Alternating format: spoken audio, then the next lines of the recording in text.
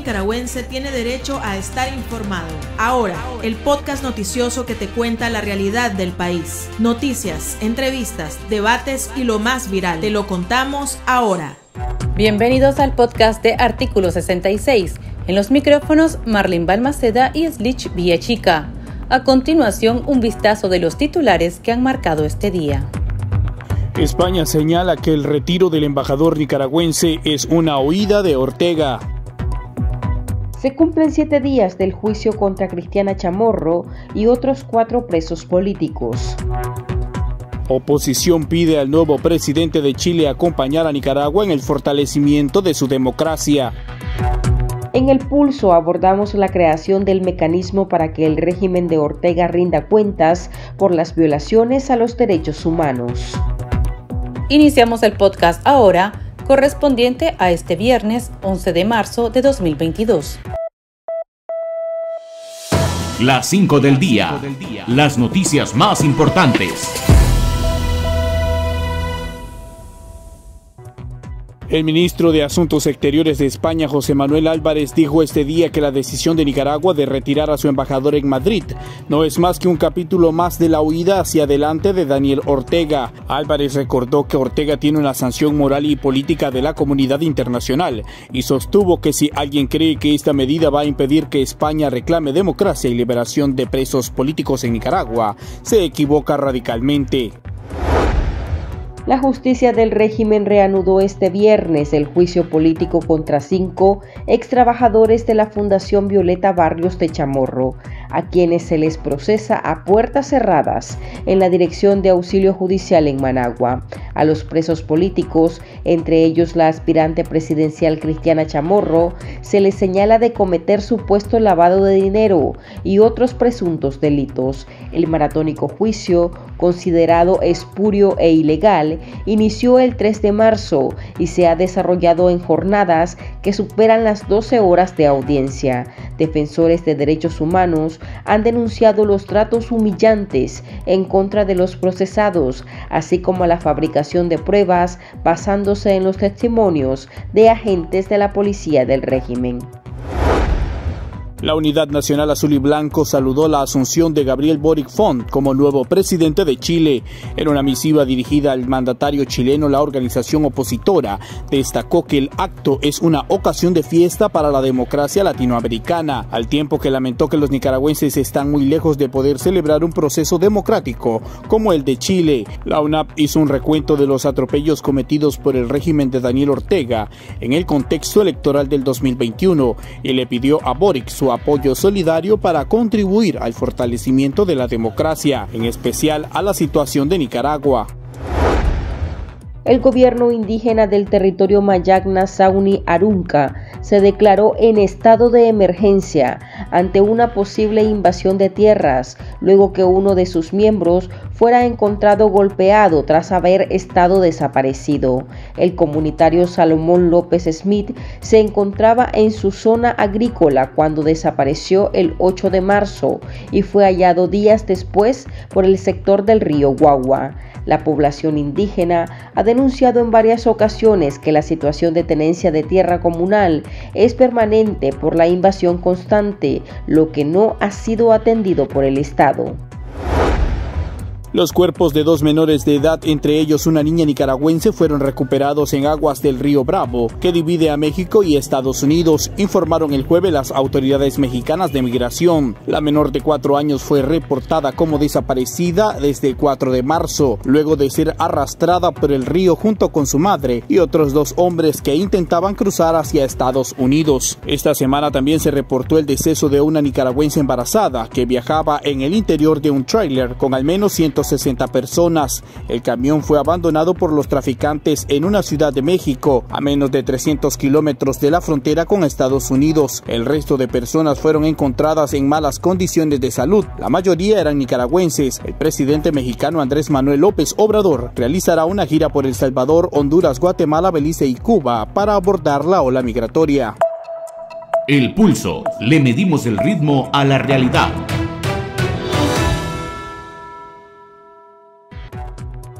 Los Estados miembros del Consejo de Derechos Humanos de las Naciones Unidas comenzaron a negociar la resolución que podría crear un mecanismo de rendición de cuentas por las violaciones a los derechos humanos en Nicaragua, perpetradas desde 2018.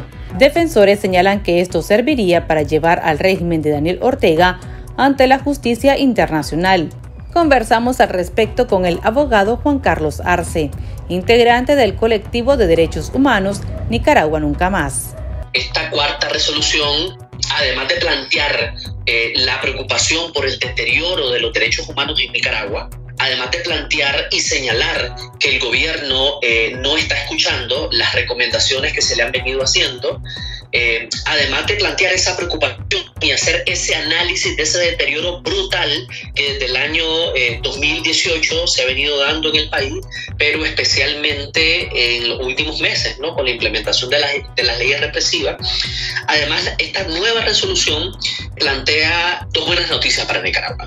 Uno es el mantenimiento de esa figura de monitoreo y vigilancia para el país, tan necesaria y tan importante que ha, venido siendo desarrollada eh, por la alta comisionada, en este sentido por Michelle Bachelet, la que al año ha venido emitiendo al menos dos informes sobre la situación del país. El último de ellos fue recién, en el contexto de esta, de esta sesión del Consejo de Derechos Humanos.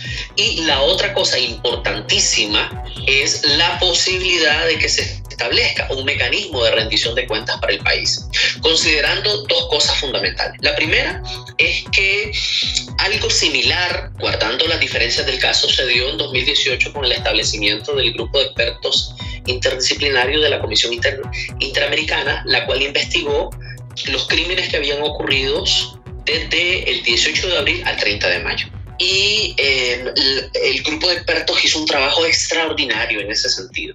Entonces, de tal manera que a partir del 30 eh, de abril del 2018 no han habido esfuerzos de esa magnitud. Sí, evidentemente, esfuerzos de diferentes organizaciones nacionales e internacionales que hacemos informes y que venimos sistematizando la situación, pero no en ese nivel, es decir, de un comité, de, de un grupo, de un comité de expertos que investiguen que recojan evidencias, todo esto de cara a los procesos de verdad, de justicia y de reparación que en algún momento se tienen que establecer. Yo te puedo adelantar que la resolución en este momento preliminar, que en este momento, que ahora se discute y que va a ser la base de la nueva resolución, establece ese mecanismo por un periodo de un año, un grupo de expertos en derechos humanos sobre Nicaragua que sería nombrado por el Consejo de Derechos Humanos con un mandato específico. ¿Cuál sería ese mandato? Uno, llevar a cabo investigaciones exhaustivas e independientes sobre todas las presuntas violaciones y abusos de los derechos humanos cometidos en Nicaragua desde abril de 2018, incluidas las posibles dimensiones de género de dichas violaciones y abusos. Número dos, establecer los hechos y las circunstancias que rodean las presuntas violaciones y abusos, recoger, consolidar, preservar y analizar la información y las pruebas y cuanto, y cuanto sea posible identificar a los responsables y hacer que dicha información sea accesible y utilizable. Un tercer aspecto que es importante es la formulación de recomendaciones con vistas a mejorar la situación de derechos humanos en el país y proporcionar orientación sobre el acceso a la justicia y rendición de cuentas según se proceda. Como te digo, esto es todavía preliminar, esto se está discutiendo, a nivel del Consejo de Derechos Humanos. Recordemos que en el Consejo de Derechos Humanos estamos hablando de, son, si no me equivoco, 48 países los que conforman el Consejo. Algunos países apoyan decididamente el establecimiento de ese mecanismo de rendición de cuentas, considerando que en Nicaragua hay cero posibilidad de obtener justicia. En Nicaragua se persigue a los que demandan justicia. En Nicaragua quienes demandan justicia han tenido que exiliarse. ¿Y qué es la rendición de cuentas? Es la, es la sanción de los responsables. Eso no es posible en Nicaragua.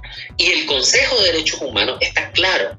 Y los distintos mecanismos de Naciones Unidas están claros que no hay posibilidades que en Nicaragua haya procesos de verdad, justicia, reparación, en donde se garantice el compromiso del Estado que estos hechos no vuelvan a cometerse. Por eso se, se plantea la posibilidad en este momento de que haya un mecanismo para que eh, expertos independientes puedan investigar, identificar responsables y encaminar al país o encaminarnos a un proceso de rendición de cuentas, que sabemos que son procesos de largo, de largo plazo, eso lo sabemos.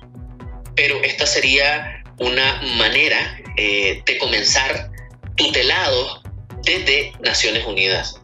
Ahora hay que ver, en las próximas semanas sabremos si esta resolución cuenta con el apoyo de la mayoría de los países que conforman el Consejo.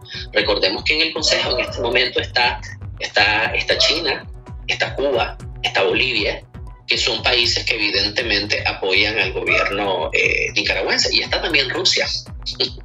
está Rusia dentro del Consejo de Derechos Humanos. Continuamos la entrevista luego de escuchar la opinión de nuestros lectores, a quienes les consultamos qué opinan acerca de esta iniciativa. El chat. Abrimos los micrófonos a nuestros oyentes. Eso desde hace mucho tiempo lo deberían de estar haciendo. Se están tardando en hacerlo.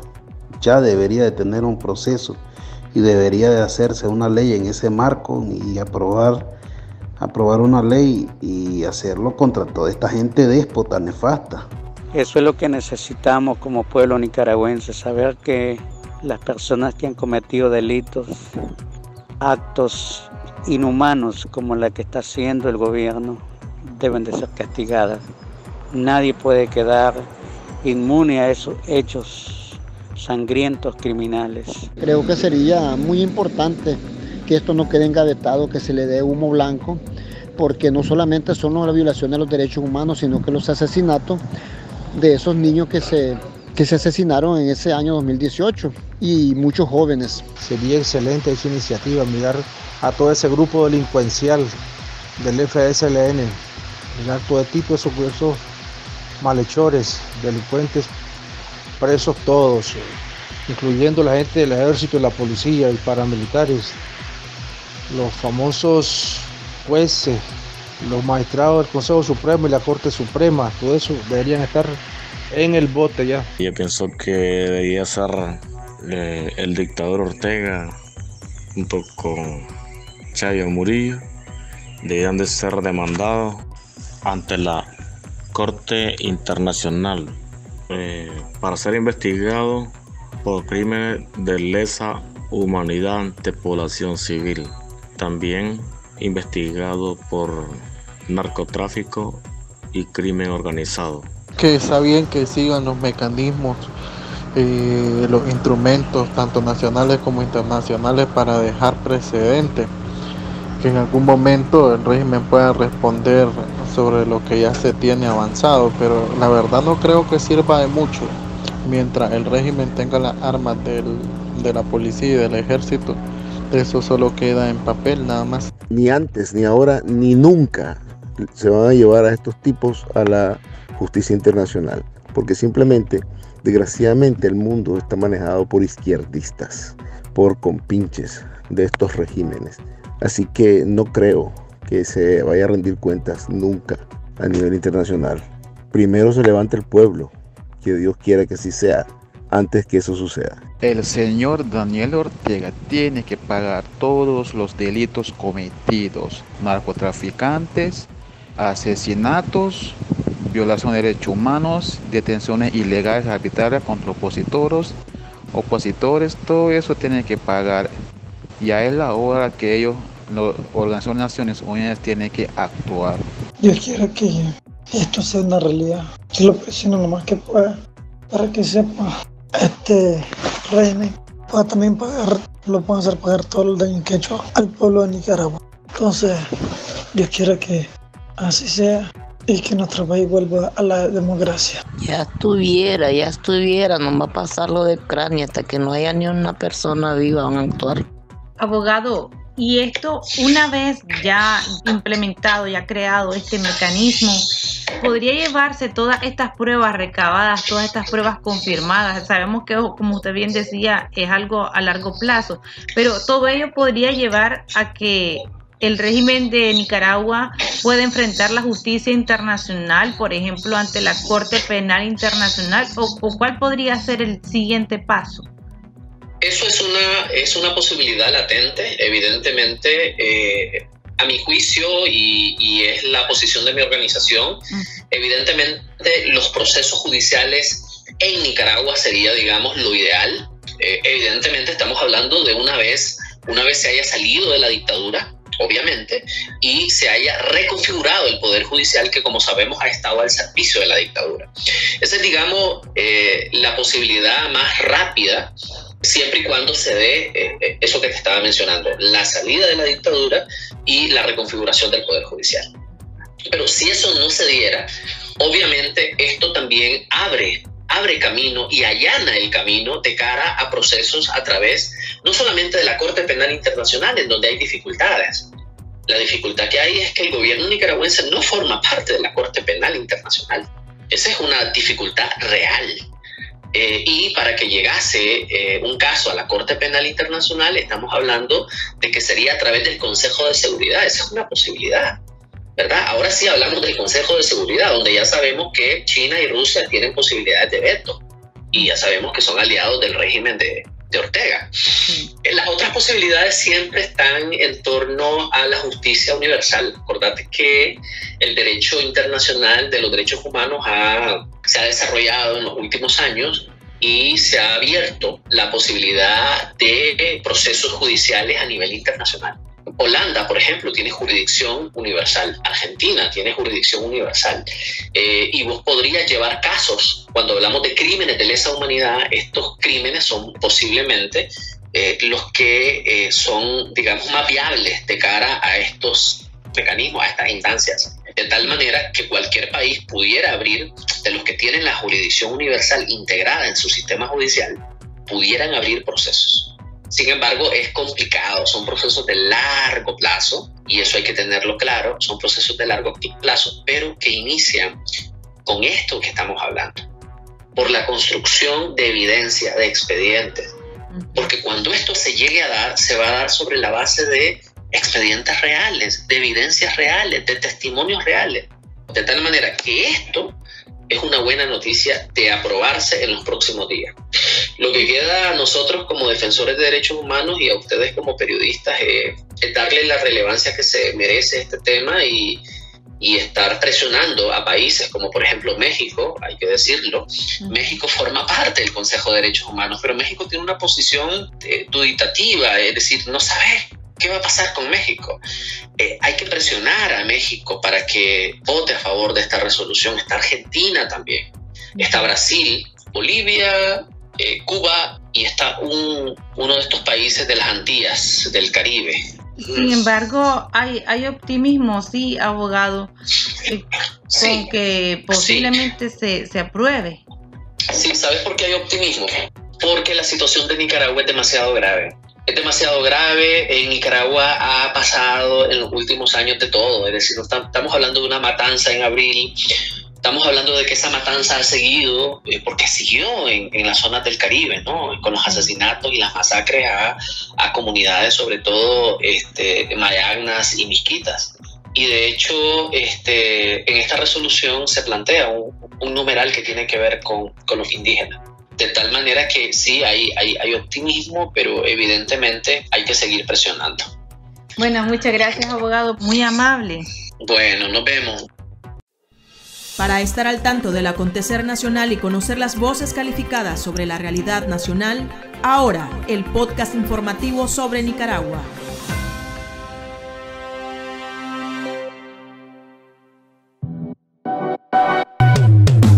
Tendencias, la viralidad de las redes sociales.